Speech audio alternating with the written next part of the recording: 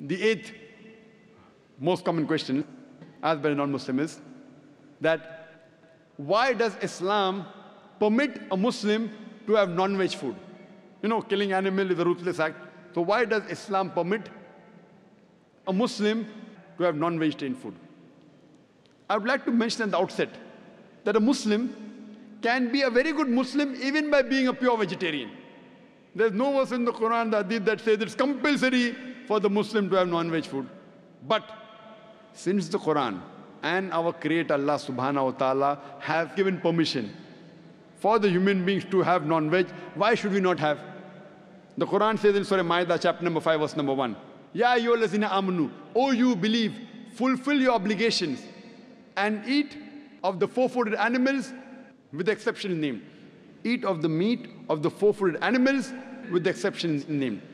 Quran says in Surah Nahal, chapter number 16, verse number 5, We have created for you cattle, and from it you derive warmth and many benefits, and of the meat you can eat. Quran says in Surah Mu'minun, chapter number 23, verse number 21, that verily in the cattle is an instructive sign for you. We give you to drink from what is within the bodies, and you derive many benefits from them, and of their meat you can eat. So when Quran has given permission to have the meat of the lawful animals, then why should we Muslim not have it? Let's analyze the scientific as well as the logical reasons for having non-veg food. Today science tells us that in non-vegetarian food, it is a wholesome food. It's rich in protein. And the body requires amino acid. There are eight amino acids which are not created in the body. It has to be given by the external diet. It's known as essential amino acids. Only in the flesh food do you have all the eight essential amino acids. Therefore, the meat is called as a complete protein. There is no vegetarian food which has all the essential amino acids in it. Furthermore, meat is rich in niacin, vitamin B, and it's a wholesome food. There are many non-Muslims, especially the Hindus, they say that why do Muslims have non-veg? Indians, besides India, they're present throughout the world. 20% population of the world. You go to any part in the world, USA, Canada, UK, Dubai, you'll find Indians there. So it has become a common question throughout the world. I tell them that if you analyze the set of teeth of the herbivorous animals, cow, goat, sheep, they only have vegetables. If you see the set of teeth, they have a flat set of teeth called as herbivorous set of teeth. If we analyze the set of teeth of the carnivorous animals who only have flesh food, lion, tiger, leopard, they have pointed set of teeth. They have the canine set of teeth. If you analyze the set of teeth of the human beings, if you go in the mirror and see, we have flat teeth as well as pointed teeth. If Almighty God wanted us to have only vegetables, why did He give us the pointed teeth, the canine teeth? For what? To have non-veg. Furthermore, if we analyze the digestive system of the herbivorous animals, cow, goat, sheep, they can only digest vegetables. If they take flesh food, they will not be able to digest it. If we analyze the digestive system of the carnivorous animals, the tiger, the leopard, the lion, they can only digest flesh food. They cannot digest vegetables. But the digestive system of the human beings can digest veg food as well as non-veg food. If Almighty God wanted us to have only vegetables, why did He give us a digestive system which can even digest non-veg food? But natural to have it. We have a small intestine as well as a large intestine for having both veg food and non-veg food. We are neither herbivorous, neither carnivorous, we are omnivorous. And many of the Hindus have a misconception that Hinduism prohibits a human being from having non-veg food. If you read the scriptures of the Hindus, in several scriptures, several places says that sages, saints had non-veg food. If you read Manusmriti, chapter number 5, verse number 30, it says that the eater, if he eats the flesh of the thing which is to be eaten, then it is good. Even if he does it day after day. Because God has created some to be eaten and some to become eater. When you read Manusmriti chapter number 5, verse number 31, it says that eating meat in sacrifice is not a sin. It is the law of the gods. It's mentioned in Manusmriti chapter number 5, verse number 39 as well as 40, that God created sacrificial animals. So killing animals in sacrifice is not considered as killing. Furthermore, when you read Mahabharata, Anushasan Parv, chapter number 88, regarding the Pandavas, the five brothers, the eldest brother Yudhishthir, he asks Bhishma that while they were doing puja, yagna for the ancestors, he asks Bhishma that what should we give in puja, in yagna, so that our ancestors will be satisfied. So Bhishma replies that if you put in the puja herbs, vegetables, and fruits, the ancestors will be satisfied for one month. If you give fish, two months. If you give meat, three months. If you give hare, four months. If you give meat of the goat, five months. If you give bacon, meat of the pig, six months.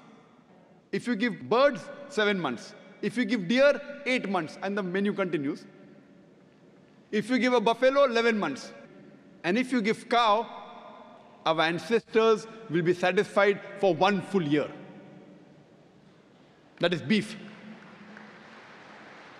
And if you give rhinoceros meat or red meat of goat, our ancestors will be satisfied inexhaustibly. There's a big menu, imagine vegetables, fish, meat, hare, what, everything is there in the menu. So if you read the Hindu scriptures, it was permitted to have non-veg. It is later on, when the Hindus were being influenced by other non-Hindus and tried to take their philosophy that they converted and tried to make the religion into vegetarianism, though all Hindus aren't vegetarians. Now when we ask these people that why are you a vegetarian, they tell us that killing animal is a sin.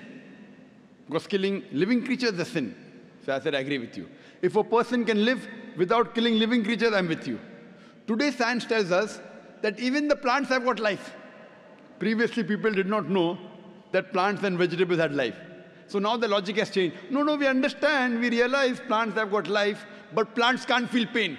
Therefore, killing animal is a bigger sin as compared to killing a plant. Now science has further advanced and we have come to know that even the plants can feel pain. Though we cannot hear the cry of the plant, but even the plants can feel pain. They don't have a very well developed system, but they can feel pain. And there was a research done in America that a farmer had made a gadget where you could make the cry of the plant be heard to the human ear. Because the human ear only hears between 20 cycles to 20,000 cycles per second. Anything below and above this, the human being can't hear. Like this is below 20 cycles, I can't hear. If I do fast, I can hear because it's above 20 cycles. You know, the dogs, they can hear up to 40,000 cycles per second. So you may have heard about the silent dog whistle. You blow the whistle, the frequency is between 20,000 and 40,000 cycles per second. The human beings can't hear, the dog here comes to the master. So the cry of the plant cannot be heard by the human being. So there was a research done in America where a farmer makes a gadget and whenever the plant wanted more water, it would cry out, used to convert the cry and he could hear it. So today, science tells us that even the plants can feel pain. So now, there is a non-Muslim who argued with Maxim. He said, okay, Brother Zakir, I agree with you. The plants have got life. The plants can feel pain. But you know, plants have got about two senses less as compared to animals. Animals have got five senses. Plants have got three senses. So I say, okay, for sake of argument, I agree with you. The plants have got three senses. Animal has got five senses. So I asked him the question that suppose if you have a brother who's born deaf and dumb, and if someone comes and kills him, will you go and tell the judge, me lord, give this murderer less punishment because my brother had two senses less? In fact, you'll go and tell the judge, give this murderer double punishment. My brother was masoom, could not hear, could not speak. Give him double punishment. So where is the logic? Two senses less, so less punishment. In Islam, it does not work two senses less or two senses more. Quran says in Surah Baqarah chapter 2 verse 168, eat of the things which are good and halal for you. What is permitted and what is good you can have. So what is halal, what is lawful, and what is permitted and what is good you can have. As far as non-Muslims who are against eating non-veg, you know, if I agree that fine, we should not kill any animals, you know, the population of the cattle, it grows so fast that if we stop eating animals, there'll be overpopulation of cattle in the world. Know, now we have overpopulation of human beings in some countries, India, China. We'll have problem with overpopulation of cattle. And personally, if non-Muslims don't have non-veg, I've got no problem.